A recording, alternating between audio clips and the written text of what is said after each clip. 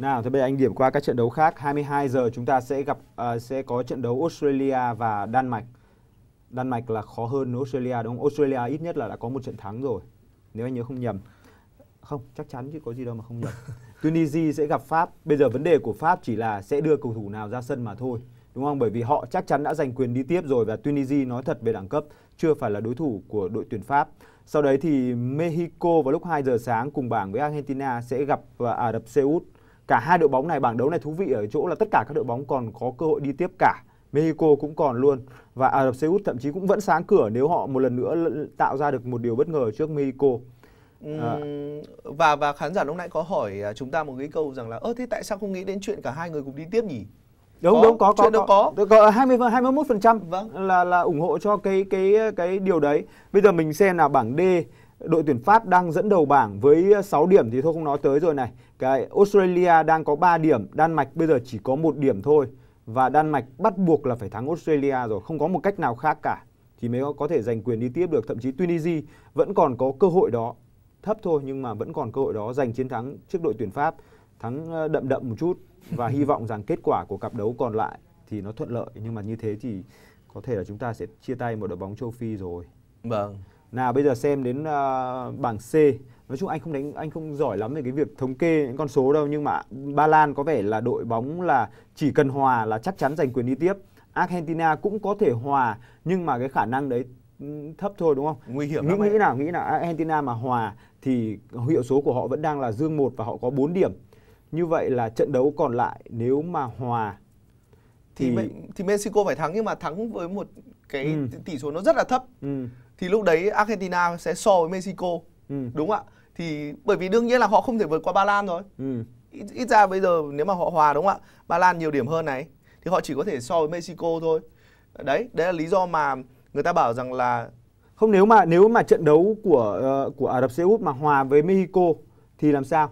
nếu mà hòa với Mexico thì họ họ sẽ bị loạn đúng không? Bởi vì là nếu mà tính hiệu số bàn thắng bàn thua thì thì Ả Rập Xê Út bây giờ lại không bằng Argentina. Chính đúng không? Hôm nọ họ thua họ thua hai bàn rồi đúng không? Đấy, thế nên là Argentina cũng có thể hòa và hy vọng là à, trận đấu còn lại mà cũng hòa thì cũng sẽ là vui đấy. Trận đấu ngày hôm nay mình sẽ phải xem cả hai Nhưng mà rồi. em nói thật nhá, với những người mà muốn Messi đi sâu ấy họ phải thắng à? tốt nhất đừng có hòa tốt nhất là đừng có hòa hòa cái gặp pháp thì em nghĩ rằng là căng thực sự luôn à thế thì em lại chưa biết là những cái năm mà khó khăn nhất thì đội tuyển Argentina đã từng vượt qua Brazil ở vòng 2 của World Cup năm 1990 một trận đấu mà cả trận đấu tất cả đều diễn ra trên sân của Argentina và một đường bóng cuối cùng của của Diego giải quyết trận đấu này. Đây là trang bìa của Ole uh, ra ngày hôm nay. Họ chơi chữ, thấy hiếm khi mà thấy uh, tờ báo uh, nổi tiếng của Argentina chơi chữ kiểu như này. Lewandowski một cách phát âm theo kiểu kiểu người Anh. Đối mặt hai người này sẽ đối mặt với nhau một đối một.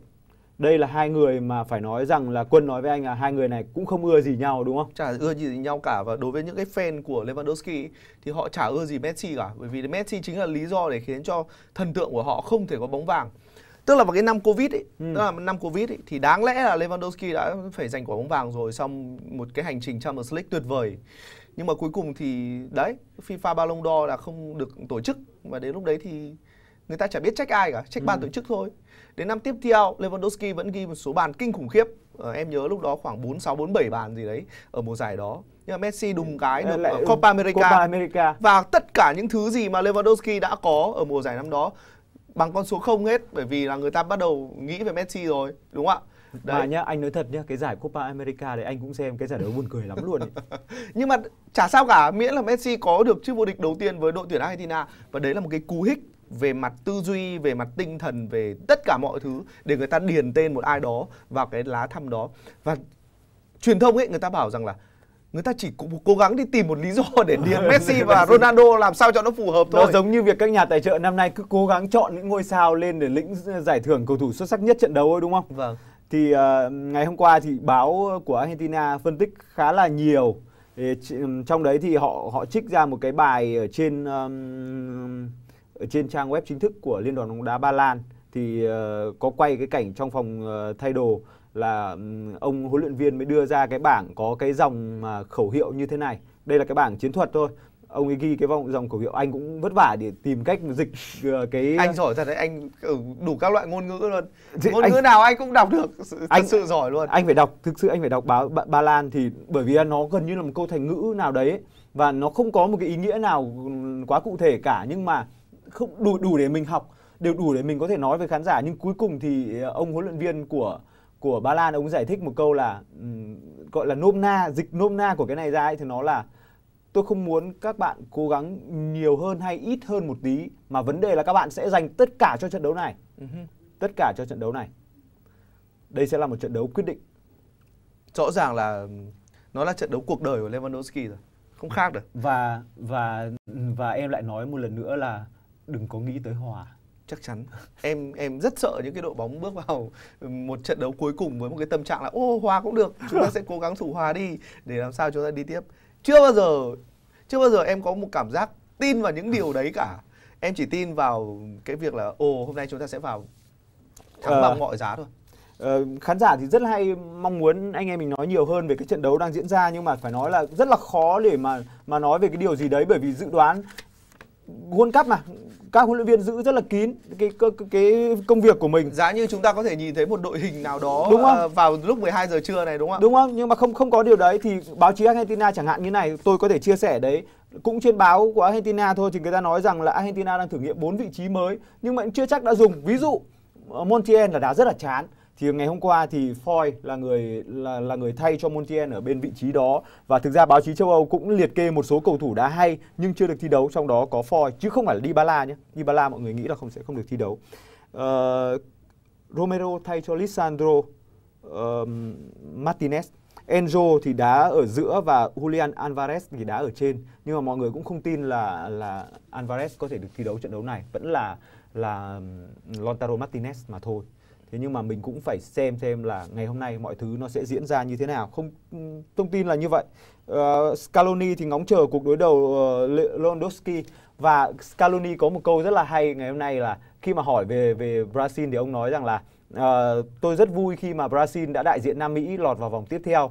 Và nếu như Brazil không thể vô địch được thì tôi cũng, hy vọng rằng sẽ có một đội Nam Mỹ khác sẽ làm điều đó. Mà bây giờ mình nghĩ xem Uruguay khó rồi Ecuador bị loại, loại rồi. rồi Brazil không vô địch nữa thì không Chỉ biết là đội là nào Argentina có thể giành được chức vô địch đây. Nhưng mà điều đó cho thấy là các huấn luyện viên họ cũng rất là thông minh và họ luôn chuẩn bị trước những gì mà họ sẽ nói trong một cái buổi uh, trả lời phỏng vấn trước trận đấu hay là sau trận đấu. Tức là ngoài cái công việc chuyên môn ra ấy thì các huấn luyện viên bây giờ em nghĩ rằng là cũng cần phải cải thiện rất truyền nhiều thông. những cái kỹ năng về mặt truyền thông và Luis Enrique uh, rõ ràng là một trong những người uh, đang làm rất là tốt cái việc đó bằng việc là trở thành streamer cũng như là nói chuyện rất là nhiều với cả các khán giả. Bởi vì ông ta tạo ra một cái điều cực kỳ mới mẻ nha anh Khánh.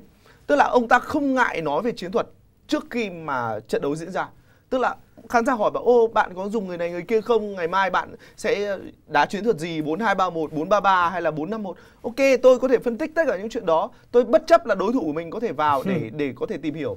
Bởi vì là thế này này bởi vì thế này này bây giờ truyền thông quá phát triển rồi. Cái buổi tập của anh ta, anh ngày hôm qua của của Argentina thôi. lên báo. Mà lên báo có ai giấu đâu ừ. đúng ạ? Báo Argentina là những người đưa tin về điều đó mà. Có ai giấu là Juan Foy sẽ có thể sẽ đá ở vị trí hậu vệ phải đâu? Không có ai giấu chuyện đó cả. Nên là chúng ta đừng có băn khoăn quá nếu như mà truyền thông đưa những cái đội hình hay là đưa ừ. dự đoán về chuyện rằng là à, đội bóng này sẽ ra quân với đội hình như thế này. Bởi vì thế này này bây giờ mạng xã hội hay là truyền thông nó là mặt phẳng như thế này rồi tất cả mọi người đều có thể uh, tìm hiểu về nó đúng không ạ? Nên là đôi khi chúng ta cứ bị băn khoăn là à, tại sao bình luận viên hay là nhà báo hay là ai đó ở Việt Nam cứ đưa ra những cái đội thông tin về đội hình của đội tuyển để ví dụ báo Thái Lan đọc được báo Malaysia đọc được hay gì đó thì chúng ta gặp khó khăn? Không chuyện đấy sẽ không bao giờ làm một cái điều gì đó nó quá lớn vào thời điểm này với truyền thông cả. Ba Lan thì chẳng nói gì nhiều cả. Huấn luyện viên của họ bảo là chúng tôi sẽ tăng nhân sự để theo dõi Messi. Thế thôi là chúng tôi có thể kiểm soát được trận đấu này. Quý vị hãy nhớ nhé là Argentina đã thử nghiệm 4 vị trí mới và họ hy vọng là tất nhiên là họ hy vọng sẽ giành chiến thắng trong trận đấu này chứ không phải là hòa. Ba Lan thì sẽ tập trung và yêu cầu là các cầu thủ của hết mình và chúng tôi trong chương trình World Cup từ ATZ thì uh, uh, Quốc Khánh đã thắng Anh Quân trong một trận đấu giữa Argentina và Ba Lan ở trên điện tử 4 nút. Anh em chưa nốt trận lượt về. Với với tỷ số 2-1. 2-1 là tỷ số của trận đấu này. Em nói một con bạch tuộc Pôn mà cuối cùng còn nổi tiếng trên thế giới thì tại sao anh em mình chơi uh, Nintendo và có một kết quả như thế lại không thể ảnh hưởng gì đến lựa chọn của khán giả cơ chứ?